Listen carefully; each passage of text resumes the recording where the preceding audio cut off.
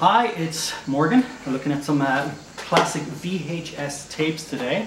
Uh, I'm helping a, a friend doing uh, some moving in, a, in, an old house, and we've full of VHS uh, cassette tapes. So what we're trying to do is we're trying to separate the cardboard uh, from the actual uh, plastic. So unless you're committed to good commitments, we're going to say goodbye to the commitments. And as you can see, I have filled a bag just with the cardboard. So that's one quick separation.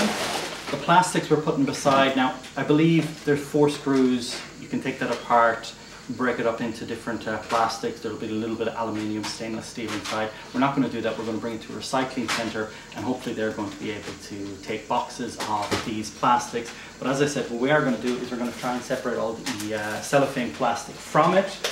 So uh, you have the uh, Last Tango in Paris.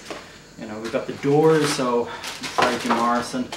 Uh, goodbye to There's Something About Mary, something very special.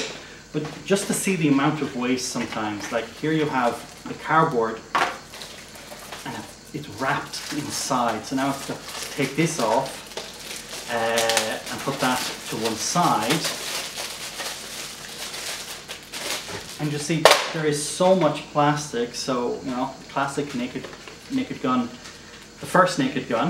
Um, just want to separate that as much as possible and hopefully we're going to be able to take boxes of VHSs to be recycled.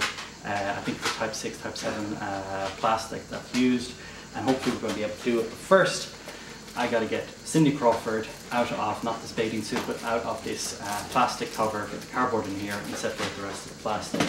Uh, little time consuming, but hopefully, hopefully we're going to be able to recycle all of that very easily and it's going to clear a lot of space. So